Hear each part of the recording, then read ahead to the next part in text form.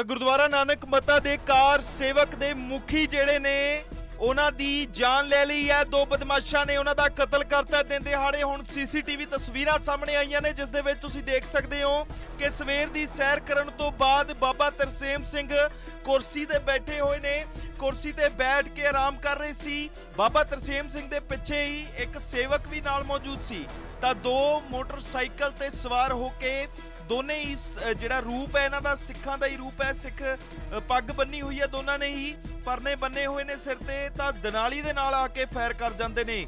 ਦੋ ਫਾਇਰ ਕਰਦੇ ਨੇ, ਜਿਸ ਤੋਂ ਬਾਅਦ ਬਾਬਾ ਤਰਸੇਮ ਸਿੰਘ ਦੀ ਮੌਤ ਹੋ ਜਾਂਦੀ ਹੈ, ਇਲਾਜ ਦੌਰਾਨ। ਤਾਂ ਵੱਡੀ ਖਬਰ ਹੈ, ਉੱਤਰਾਖੰਡ ਦੇ ਉਦਮ ਸਿੰਘ ਨਗਰ ਤੋਂ ਵੱਡੀ ਖਬਰ ਸਾਹਮਣੇ ਆ ਰਹੀ ਹੈ। ਹੁਣ ਉਸ ਖਬਰ ਦੀਆਂ ਸੀਸੀਟੀਵੀ ਤਸਵੀਰਾਂ ਵੀ ਸਾਹਮਣੇ ਆਈਆਂ ਨੇ, ਜਿਸ ਦੇ ਵਿੱਚ ਹਮਲਾਵਰ ਸਾਫ਼-ਸਾਫ਼ ਦੇਖੇ ਜਾ ਸਕਦੇ ਨੇ। ਤਾਂ ਬਾਬਾ ਤਰਸੇਮ ਸਿੰਘ ਦਾ ਗੋਲੀਆਂ ਮਾਰ ਕੇ ਕਤਲ ਹੋਇਆ ਹੈ ਸਵੇਰ ਦੀ ਸੈਰ ਕਰਨ ਗਏ ਸੀ ਬਾਬਾ ਤਰਸੇਮ ਸਿੰਘ।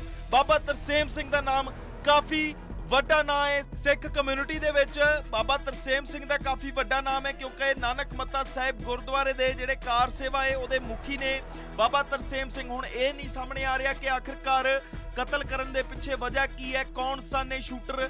ਕੀ ਇਹ ਸ਼ਾਰਪ ਸ਼ੂਟਰ ਸਨ ਜਾਂ ਫਿਰ ਕੋਈ ਪੁਰਾਣੀ ਕਿੜ ਕੱਢੀ ਗਈ ਹੈ ਜਾਂ ਰੰਜਿਸ਼ ਹੈ?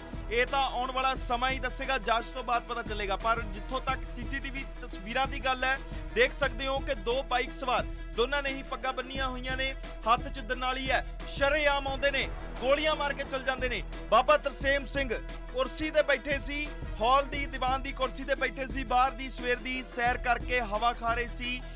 ਜਿਹੜੀ ਕਿ ਜਿਸ ਤੋਂ ਬਾਅਦ ਉਹ ਕੁਰਸੀ ਤੇ ਬੈਠੇ ਹੋਏ ਸਨ, ਇਹ ਦੋਨੇ ਬਦਮਾਸ਼ ਆਂਦੇ ਨੇ ਤੜ ਤੜ ਕਰਕੇ ਦੋ ਫਾਇਰ ਕਰ ਜਾਂਦੇ ਨੇ। ਪਹਿਲਾ ਫਾਇਰ ਹੋਣ ਤੇ ਹੀ ਬਾਬਾ ਤਰਸੇਮ ਸਿੰਘ ਹੇਠਾਂ ਡਿੱਗ ਜਾਂਦੇ ਨੇ, ਤਾਂ ਦੂਜਾ ਫਾਇਰ ਉਹਨਾਂ ਦੀ ਛਾਤੀ 'ਚ ਮਾਰਿਆ ਜਾਂਦਾ। ਸਾਫ਼ ਦੇਖਿਆ ਜਾ ਸਕਦਾ ਹੈ, ਬਹੁਤ ਹੀ ਪਰੇਸ਼ਾਨ ਕਰ ਦੇਣ ਵਾਲੀਆਂ ਇਹ ਤਸਵੀਰਾਂ ਸਾਹਮਣੇ ਆਈਆਂ ਨੇ। ਸੀਸੀਟੀਵੀ ਤਸਵੀਰਾਂ ਦੇ ਵਿੱਚ ਸਾਫ਼-ਸਾਫ਼ ਦੇਖਿਆ ਜਾ ਸਕਦਾ ਹੈ ਕਿ ਬਾਈਕ ਸਵਾਰੇ ਦੋ ਬਦਮਾਸ਼ ਆਉਂਦੇ ਨੇ।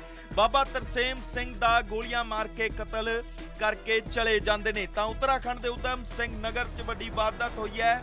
ਬਾਬਾ ਤਰਸੇਮ ਸਿੰਘ ਦਾ ਦਿਨ ਦਿਹਾੜੇ ਕਤਲ ਕਰ ਦਿੱਤਾ ਗਿਆ ਹੈ, ਤੜਕਸਰ ਕਤਲ ਕਰ ਦਿੱਤਾ ਗਿਆ ਹੈ।